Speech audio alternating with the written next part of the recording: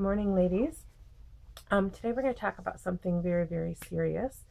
Um, it's something that I battle with all the time, and um, pretty much everybody I know does. Some of them don't know they're dealing with it, but um, and it's I'm going to talk about a spirit of fear. And I know we've talked about it before, um, but I it it just causes so much torment in my life and the people that I love, and I just want to talk a little bit more about it. So um, just some thoughts that I had. You know, it really is a choice um, what we believe. I remember there's a song we used to sing, um, Whose report are you going to believe?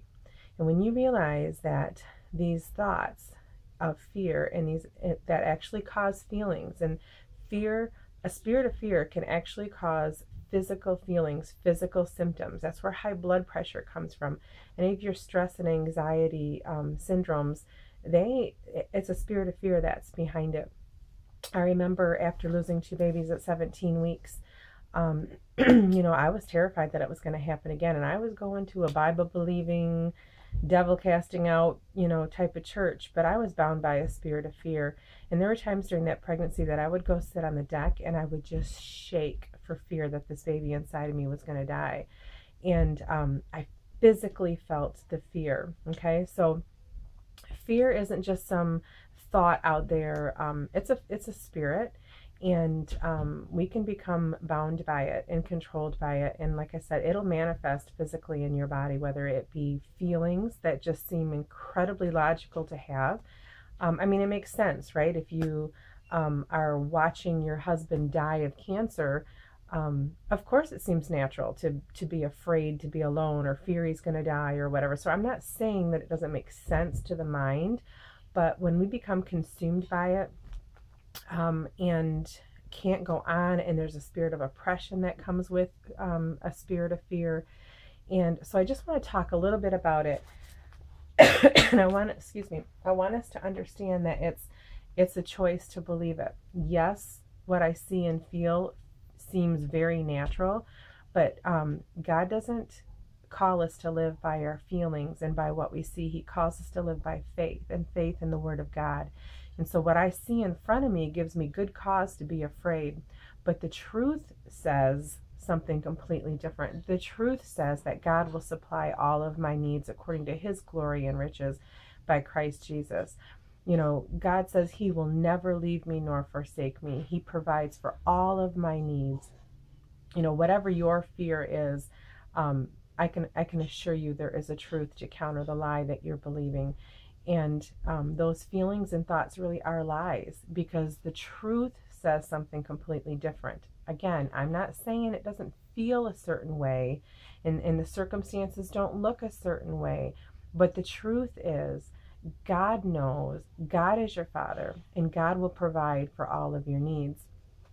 Um, and I was just thinking of some of the, um, you know, we've talked about this before about how our thoughts and our feelings come from three different places, okay? Our thoughts come by the Holy Spirit, they come from the enemy, and they come from what we know and what we have seen in the world.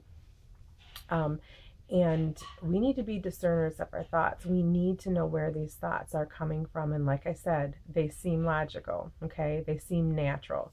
But we're we're not to live by our natural selves. We're to live by the spirit. Um, and so I was just thinking of some, you know, some fears. We're afraid of what the future is going to bring, or losing someone, or losing our home, or our job, or what we perceive as our safety net um, which is such an illusion because anything could change in a second. You know, the, the things we put our hope in, when my husband has a good job or I have a good home, all of these things could be gone in an instant. So it's an illusion what we even put our hope in. Um, you know, a child or, or our children not walking with the Lord, maybe dying without knowing Jesus. Excuse me, you know, fear, we're going to blow it again. And let me just give you a little reality check on fear of failure. You're going to fail. I'm going to fail again over and over and over again. And the sooner we can accept the fact that we're going to fail and we're still loved, um, the, the greater the peace of mind we'll have. Um, you know, fear will never change. Um, fear will never see what we're hoping for. You know, that thing that you're praying for and have been praying for years, you're afraid we're never going to see it. It's never going to change. Um, fear I'll have no one to take care of me. Uh, this has been a huge battle in my life. Um, I, I do walk in some victory in it now, but there were times I was terrified. I love Brian so much, and our marriage is so amazing. I'm terrified, or I have been terrified that um, I'd lose him, you know, which I one of us will die eventually, you know, but um, I, I understand that fear. It was a huge struggle of mine. Um, and again, I'm not saying that these things don't seem to make sense or logical, um, but they're just the facts that we see, okay? God's word is truth. I think of the people of old, you know, in the Bible, Abraham being told he was going to be the father of many nations. He didn't see it. He didn't know, you know, he didn't see it in front of him. He had to believe um, over and over and over again. It was by faith, okay? So we can make the choice um, to believe the truth. um, you know, the truth is that God will never leave us nor forsake us. Okay, like I said, you find you find the truths that counteract your lie that you hear in your head. Um, but when I stay here in this fear and doubt, you know, when I when I have a thought that is clearly not truth, that it is the enemy, or it's it's a natural thing that I see in front of me you know, I have a choice. I have a choice to meditate on that and let that come in and begin to control me, or I can stop it in its tracks and say, no, I will not believe this. I will not allow my feelings to go down this road. Um, and oftentimes, uh, if you're anything like me, I let it in. I let I meditate on it. Days and days later, it becomes a part of how I think. And you know what? What happens after months and years of believing like this? Um, your whole thought process it, it gets processed through this fear. Um, you know and i talk about uh, removing the enemy in the name of, the spirit of fear in the name of jesus. You know sometimes the enemy is long gone. He's just trained us how to think. Um, but so I, I want you to, to maybe recognize you know where these fears are in your life and what is the truth and what are you going to do about it? You have a choice okay um, you know, the feeling of not being taken care of or being alone. The fact of the matter is, is you are not alone and you are being taken care of. You don't believe it and you don't see it. Um, but you have a choice to believe it. So you can continue to live in this misery of, oh, I, I don't feel taken care of, or I'm not going to be provided for, um, which is a lie. And it causes all of these terrifying feelings of emotions and anxiety and it's not true because you already are being taken care of, you can sit in that and be miserable, or you can choose to believe the truth.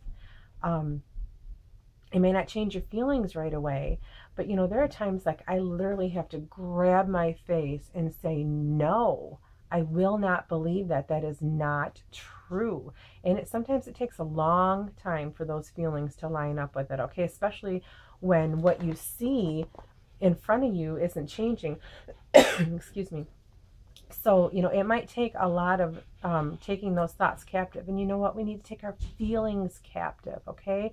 Our feelings are part of our emotions and just kind of naturally what we see. And I'm a feeler, I'm an emotional person. I have lived by my feelings for years.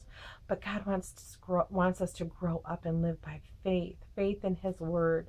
Um, so I ask you, whose report are you going to believe? Are you going to believe what you see and what you feel and that, that anxiety in your heart um, and that shakiness and, and just those emotions? Are you to, are you going to believe that? Are you going to live in that? Or are you going to draw a line in the sand and say, no more? I am not going to listen to that. I'm going to believe God's word. And, you know, it might take some repentance. You might need to get before God and list every single fear you've had and repent of each and every one of them. You know, I repent, Lord, for the fear of failure. I repent for fear that you're not going to take care of me. Um, list them all. Um, take responsibility for listening to them. Um, and then, you know what? Tell that spirit of fear to go in the name of Jesus. Okay, it has no place there. And I'm not saying that once you do that, it's going to be easy. You're going to have to take those thoughts captive over and over and over again. Um, so I'm running out of space here on this video, but I just, I just want to get this talk going about fear because I see it all around me. I see it in my own life. I see it in my family. And and ladies, we can't we can't live like this. Okay? We need to live by faith and by truth and not by our feelings and our emotions and these fears that consume us and take us down. So um, kind of a serious, sober message today. And I just really challenge you to take a look at what's going on inside your heart. It's not okay.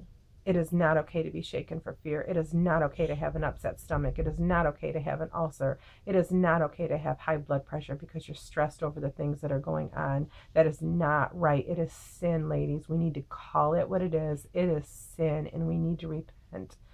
Okay? So I love you. I hope you hear this message in love, and I hope you know that it is my battle too. I battle it every day. Um, but we have victory. We have victory in Christ. Okay. He supplies for all of our needs, lady. His grace is sufficient. All right. So cry out to Him, get with Him, and repent. Repent and begin to take these thoughts captive. All right. I love you.